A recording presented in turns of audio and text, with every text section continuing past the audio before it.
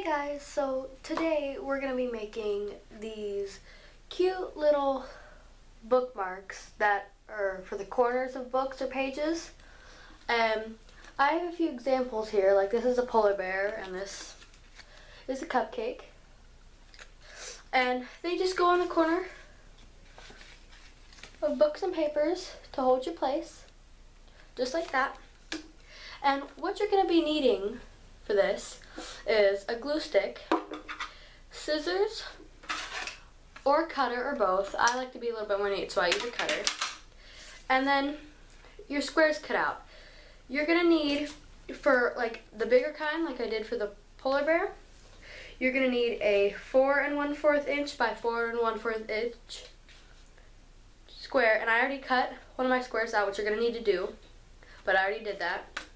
And for the little ones, like I did for the cupcakes, you're going to need a 2 and 1 8 inch square by 2 and 8, 8 inch and cut out and you're going to need to mark square so you just mark it in fourth, measure it, mark it in fourth and you're going to need to cut a square out of these. Um, once you do that, you're going to need, it's going to be like this with the three squares and you're going to need to fold this square and this square in half. It's real easy.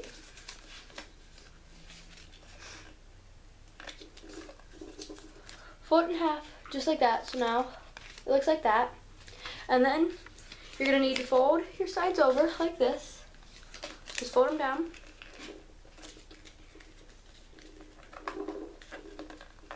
It's okay if it's not the neatest, but what I do is then, after they're folded down, you fold one side down and put glue on it, and then put glue up here, and then put it on top of each other. So that's what I'm gonna do right now.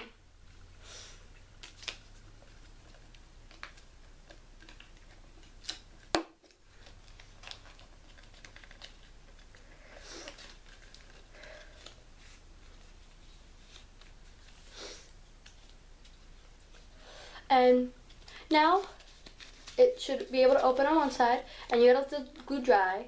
And once the glue dry, you can decorate however you want and then use it. So I'm to skip and I'm to make a few more different sizes and shapes of these and then come back when I'm done.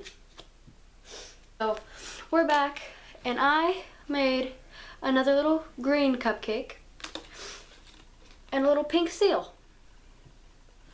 And these are really easy to make. You know, just a little bit of folding and markers and stuff. But yeah, so that's all for today. Thanks for watching.